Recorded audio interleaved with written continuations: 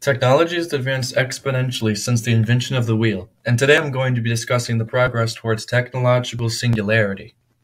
The term technological singularity holds a number of different definitions, but for this presentation, I'm defining it as a hypothetical point in time at which technological growth becomes uncontrollable and irreversible, resulting in unforeseeable changes to human civilization.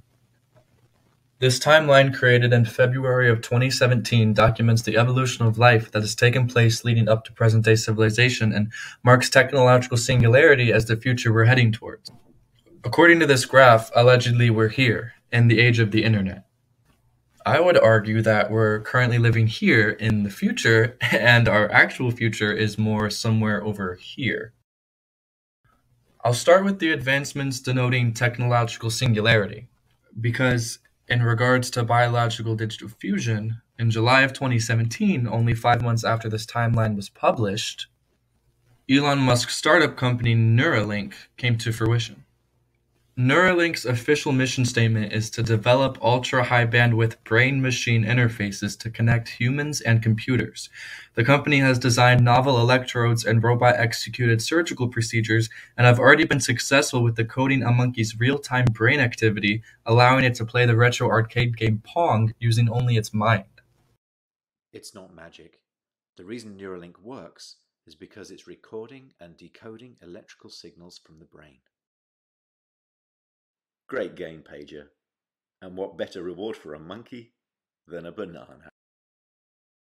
Another commonly cited component of technological singularity is digital self-replication, also known as whole brain emulation or the idea of uploading your mind. For whole brain emulation to occur, there are a list of advancements that would need to take place first, the first couple of which involve mapping the cells of the brain in a way that's detailed enough to be able to recreate these connections.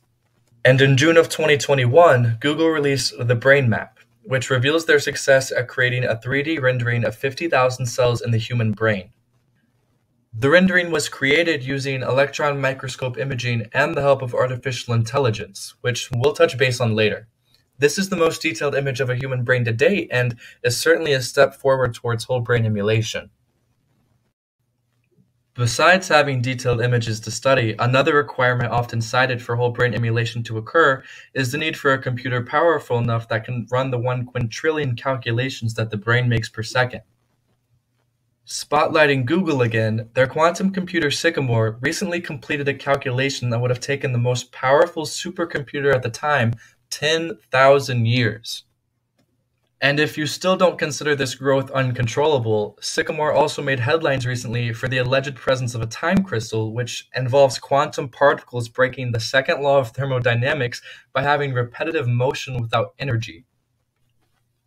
The last advancement on this list involves digital sentience, or when artificial intelligence becomes self aware. Should artificial intelligence ever become conscious, their capacity for learning and access to infinite information would have unprecedented effects on humanity, and is often when the idea of dystopian robot futures come into play. However, if preventative measures and proper regulation allowed humanity to continue after digital sentience, life beyond the singularity would be similar to that of a fantasy novel. With the combination of artificial intelligence and medical advancements, it's theorized that humans would have the capacity to stop the process of aging, or at least avoid death indefinitely by uploading their consciousness into simulated realities.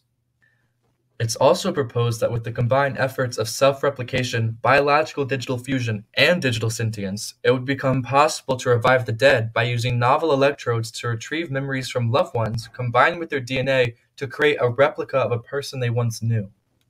Ultimately, only time will tell if human achievement becomes too advanced for its own good. Thank you for your time.